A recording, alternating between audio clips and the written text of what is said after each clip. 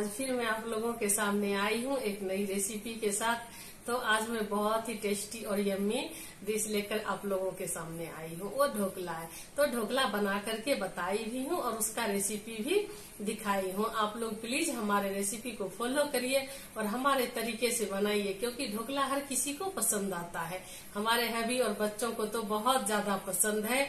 तो पूरी रेसिपी में आप बने रहिएगा। अगर हमारा रेसिपी अच्छा लगे तो प्लीज़ लाइक और सब्सक्राइब ज़रूर कर दीजिएगा हमारे चैनल को।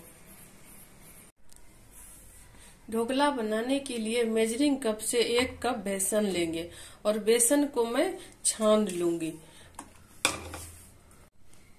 छानने के बाद मैं एक चम्मच इसमें नमक डालूँगी और थोड़े से वन फोर्थ हल्दी। और जिस कप से मैं बेसन ली थी, उसी मेजरिंग कप से मैं दही ली हाफ़ कप हाफ़ कप फेटा हुआ दही ली हूँ और हाफ़ कप इसमें पानी डालूँगी और दोनों को मैं मिक्स करूँगी।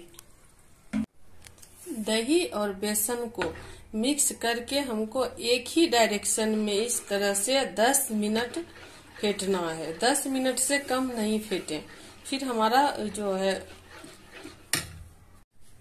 ढोकला स्पंजी नहीं बनेगा। इसलिए अगर बीच में थक जाते हैं तो थोड़ी सी आराम कर लीजिए और 10 मिनट तक आप फेंटते रहिए। तो ये हमारा जो है 10 मिनट हो चुका है। अब मैं इसको रेस्ट के लिए आधा घंटा तक रखने जा रही हूँ। आधा घंटा हो गया। आधा घंटा के बाद मेरा देखिए बेटर तैयार हो चुका है ढोकला बनने के लिए। अब मैं प्री हीट के लिए ये रख दी हूँ। इसके नीचे दो गिलास पानी डाली हूँ। अब इसी में बनाऊँगी मैं ढोकला। तो ये वाले बर्तन में मैं बना रही हूँ। इसमें एक टेबल स्पून तेल डाल दी हूँ। अब तेल को चारों तरफ़ मैं ऐसे फैला दूँगी। इस बैटर में लगभग इतना सा बेकिंग पाउडर डालेंगे। बेकिंग सोडा, ये इतना सा पिंच भर। और एक पैकेट इन इनो इनो हम तभी डालेंगे जब हमारा प्री हीट हो जाएगा। तो हमारा वो प्री हीट हो चुका है। अब इसको एक ही डायरेक्शन में दो मिनट तक फेंटना है। फेंटने के बाद अब मैं ये वाले बर्तन में बैटर को डाल दूँगी। मैं सारे बैटर को इसमें डाल दी हूँ। अब जो हमारा वो बर्तन प्री हीट हो चुका है, इसके अंदर रख दूँगी। अब इसको देखना है ये है कि ढक्कन बंद करके 15 मिनट तक इसका चेक नहीं करेंगे। 15 मिनट बाद ही मैं इसको चेक करूँगी कि हमारा ढोकला बना या नहीं तो मैं इसको कवर कर रही हूँ।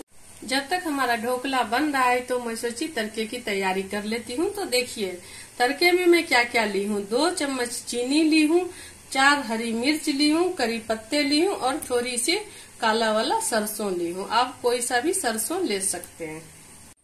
पंद्रह मिनट होते ही मैं इसका ढक्कन को हटा रही हूँ। अब चेक करके देखती हूँ। तो यह टूथपिक है। टूथपिक से ही मैं चेक करूँगी। देखिए, हमारा जो है ढोकला, इसमें चिपका नहीं। इसका मतलब है कि ये बन के रेडी है। लेकिन रेडी है, लेकिन निकालेंगे नहीं अभी इसको। इसको 10 मिनट तक ऐसे ही बंद करके रखने देंगे। उसके बाद जब 15 10 मिनट बाद ये ठंडा हो जाएगा, उसके बाद ही हम निकालेंगे इसको बाहर। ढोकला जब तक हमारा 10 मिनट में ठंडा हो रहा है, तब तक मैं तड़के को तैयार कर लेती हूँ। तो हमारा पैन जो है वो गर्म हो चुका है। मैं इसमें थोड़ा सा तेल, एक चम्मच लगभग तेल डाल दी हूँ। तेल का, को गर्म होते ही इसमें मैं सरसों डाल दी। सरसों डालने के बाद हरी वाली मिर्ची। और मिर्ची के बाद करी पत्ता। देखिए, हमारा मिर्ची, करी पत्ता वगैरह सारे चटक चुका है तो अब इसको मुझे चटपटा बनाना है। तो इसमें मैं थोड़ी सी नमक दूँगी और जो चीनी रखी थी, वो चीनी डाल दूँगी और पानी। तड़के का घोल जो है हमारा, वो तैयार हो चुका है। इसको गरम में नहीं डालना है। इसको ठंडा करके ढोकले के ऊपर थोड़ा थोड़ा देंगे हम। देखिए, हमारा ढोकला जो है, वो बनके तैयार हो गया है। मैं इसको निकाल दी हूँ। अब दो मिनट ठंडा होने देती हूँ। उसके बाद मैं इस प्लेट में इसको पलट लूँगी। मैं इसको प्लेट में पलट ली। देखिए, कितना स्पंजी, कितना हल्का हमारा फ्लफी बना है ढोकला। अब मैं इसको चाकू के सहायता से कट कर लेती हूँ। मैं सारे ढोकले को काट दी पीस में कर दी हूँ। देखिए कितना स्पंजी बना है। कितना अच्छा। तड़का हमारा ठंडा हो चुका है। मैं अब इसमें एक नींबू निचोड़ दूँगी।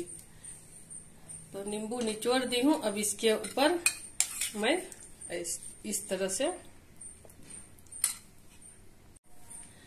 सारे घोल को मैं डाल दी। देखिए जैसा कि आप लोग देख रहे हैं कितना यम्मी दिख रहा है। हमारा ढोकला अब इस, ये खाने के लिए तैयार है। तो इसके ऊपर मैं थोड़ा सा धनिया से गार्निश कर देती हूँ और सर्व करके आप लोगों को मैं दिखाती हूँ। हमारा ढोकला जो है वो बन करके तैयार है। आप लोग देख रहे हैं कितना यम्मी, कितना स्पंजी बना है, देखिए। बहुत ही अच्छा बना है। तो आप लोग हमारा रेसिपी से ज़रूर एक दिन ढोकला बनाइएगा और कमेंट में बताइएगा। और इतना सारा ढोकला मैं मात्र एक कप बेसन से बनाई हूँ। तो आप लोगों को अगर हमारा रेसिपी पसंद आए तो प्लीज़ लाइक और सब्सक्राइब करना नहीं भूलिएगा फ्रेंड तो मिलते हैं नेक्स्ट रेसिपी के साथ। तब तक के लिए बाय बाय